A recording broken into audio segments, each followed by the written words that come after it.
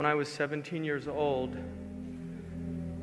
I crashed head on into a brick wall at a very high speed in a car.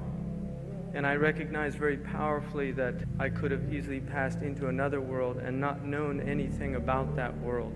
Shortly after that, at the age of 17, I was in a bookstore and I saw a book titled The Book of Certainty.